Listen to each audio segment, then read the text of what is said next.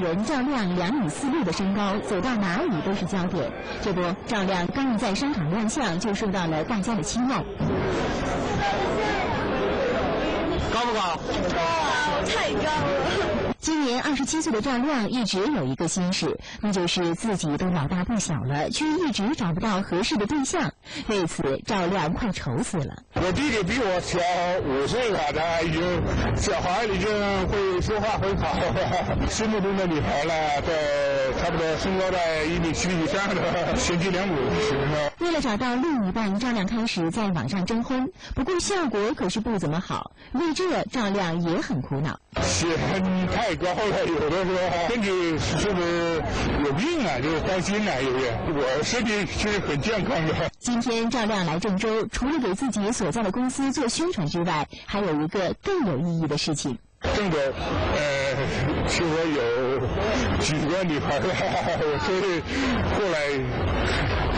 看看，还是咱们河南姑娘比较好，呃，有共同语言。通过网络，来自河南的九个女孩和赵亮取得了联系。今天，他们就打算一起和赵亮来个相亲大会，看看大家的缘分如何。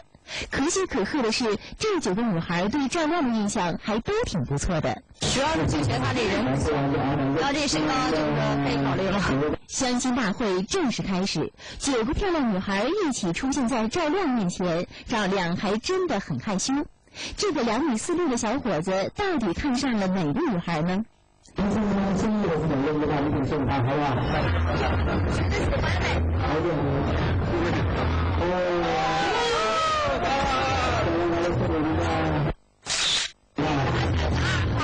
因为吧，二号接近我，更接近我影响女朋友。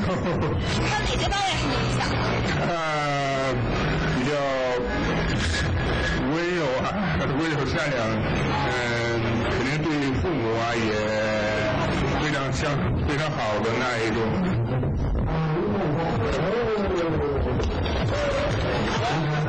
过了大半天，赵亮终于找到了自己心仪的女孩子。希望这个世界第一巨人这次能够找到真爱，从此过上幸福的生活。多说一